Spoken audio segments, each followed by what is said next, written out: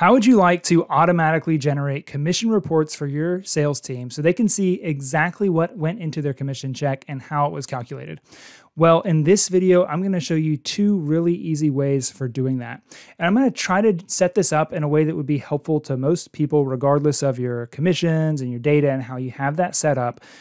But I also make videos like this for specific software or specific industries and businesses. So if this doesn't quite fit you, be sure to let me know in the comments below and let me know what business you're in or maybe what uh, commission structure you're using, what software you're using, whatever it is that doesn't make this quite fit, let me know and I may be able to make a video that's better suited for you. Okay, so first what I want to do is show you a really simple method. Uh, this is going to be the manual filter method. So let's just say you have a spreadsheet like what I have on the screen here, and you've got basic sales data in it, wherever this comes from. So you've got transaction date, your customer's email and name, transaction amount, sales rep, commission rate, and so on. And what you want to do is you want to get a table that's going to show the person on your team, the sales rep, exactly what sales they had that totaled up to the commission check that you're giving them. Well, this method is literally as simple as clicking anywhere in the table, going to the Home ribbon in Excel, and adding a filter. So I'm going to click this uh, Sort and Filter and click the Filter button right here. Okay, so now that I have a filter on there, I'm going to use these filters to get to the data that I want to see. So let's just say I want to see this for Jim Halpert. So I'm going to, um, sorry, I'm going to go ahead and click this drop down arrow right there.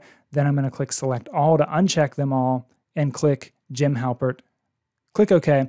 And now you can see this is his table. And the total of these should total up to his commission check of $2,090. Now, if you're also doing this by date, and let's just say you have a large data set, maybe this is all your sales for the year so far that's compiled, and you're only wanting to do it for a month or a two week period or something, you can also filter the dates. So over here, I'm going to click a drop down. And again, it's going to allow me to filter the dates. So maybe I just want to see for February, or let's just say, yeah, let's do just February of 2024. Now I'm going to click OK.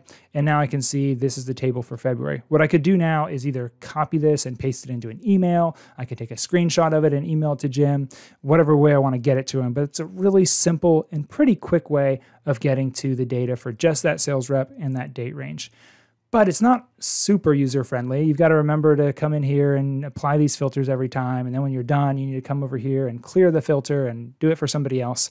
So here's a second method that I actually prefer takes a little bit more time setting up, but that works a lot better. Okay, so that's going to be what I'll call the filter formula method. So in this case, I've set up a table that mirrors the columns of my sales data over on this tab. So similar or the same headings over here.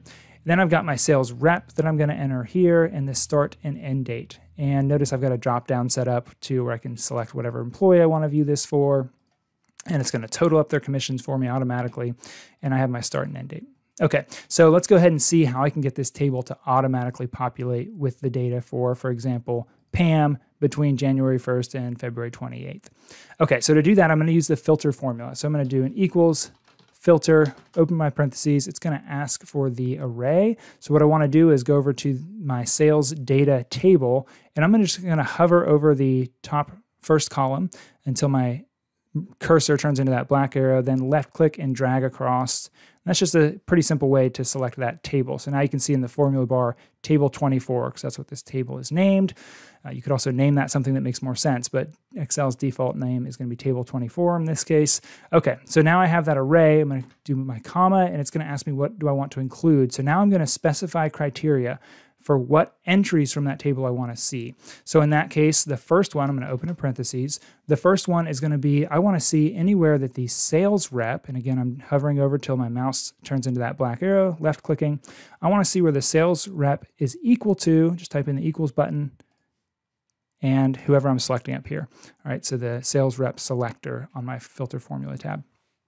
Okay, so that's the first criteria. I'm going to go ahead and close that off, and I'm going to do a multiply sign using the asterisk and open parentheses. What I'm doing here with the multiplication is adding multiple criteria in an and sense. So I'm I only want to return records from that master table if they meet all of these criteria. Okay, so that's what that multiplication there does. Okay, so now what's my second criteria? Well, in this case, my second criteria is going to be that the transaction date is greater than or equal to the start date I specify over here. Okay, I'm going to close that parentheses, do another multiplication, open new parentheses, and now I want to check is the transaction date less than or equal to the end date that I'm specifying. Okay, now I just need to close parentheses twice on that. That completes the whole filter formula. Hit enter, and you can see it automatically fills out with Pam Beasley's information from January to February.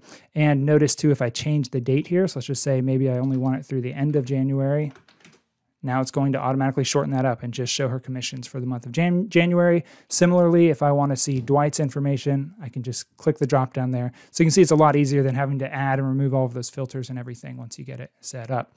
So that is it. And you can see that's really simple. Then you could uh, maybe print this out and email it to them, copy and paste it into a, an email or whatever.